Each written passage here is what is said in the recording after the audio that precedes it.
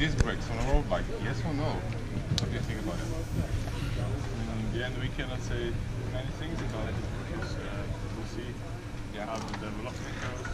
And, uh, yeah, but for sure it's gonna it's gonna come. I mean, it's a matter of time. Yeah. I haven't tried it yet on a road bike. I only tried it on a cyclocross bike, and there I really liked it. But I mean, then we'll see. You know, um, uh, what the team does, what, what our bike Yeah. provider BMC does, Yeah. and then uh, yeah. And would you like?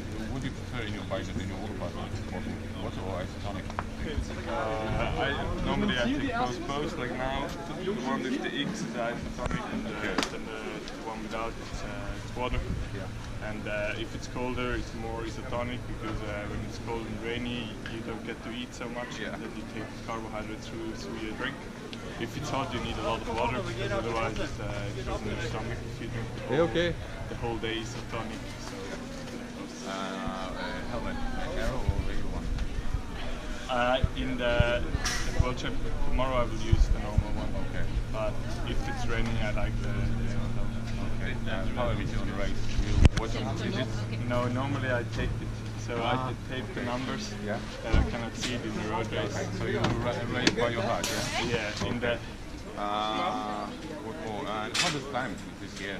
hardest climb. Hardest climb on the race or on Uh, the training? yeah, it one was, was it? uh, for me it was the Colombier, Grand Colombier Okay, in the tour. Colombier, yeah, okay. Okay. This stage.